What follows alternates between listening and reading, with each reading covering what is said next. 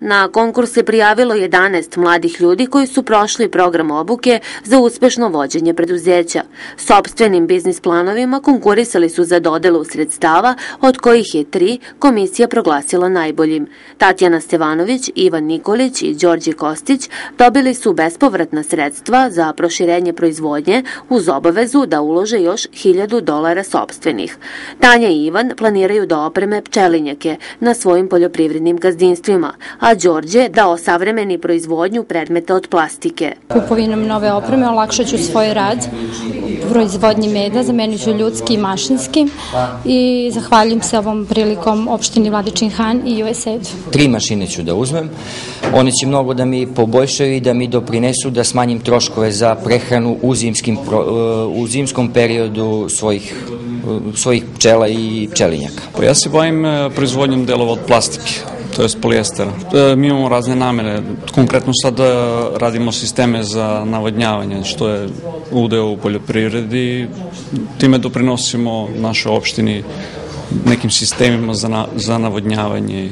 Sertifikate o dodeli grantova uručili su predsednik opštine Goran Mladenović i Tanja Ivanović, predstavnik projekta za jačanje ekonomske sigurnosti USAID-a. Lokalna samuprava će uvek biti tu da stane iza vas, kad god vam je dalja pomoć potrebna, podrška u svakom trenutku.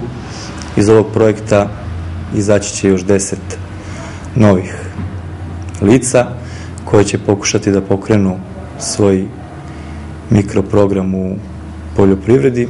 Vrednost projekta je 10.000 dolara, 5.000 dolara obezbeđuje USAID, 5.000 dolara opština Vladičin Han. Projekat je, da kažemo, u završnoj fazi, šlag na tortu od početka, eto da kažem, do kraja.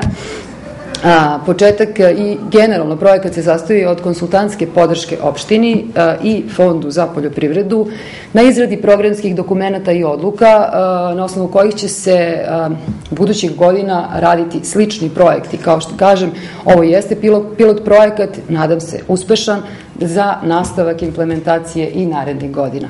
Projekat predstavlja deo realizacije opštinskog akcionog plana za jačanje omladinskog preduzetništva usvojenog 2012. godine u saradnji sa USAID-om. Plan sprovodi lokalna kancelarija za mlade uz podršku lokalne samouprave i donatora. U Srbiji je oko 15.000 mladih prošlo program obuke za uspešno vođenje preduzeća u okviru aktivnosti Američke organizacije za ekonomski razvoj ka što bržem ekonomskom oporavku Srbije.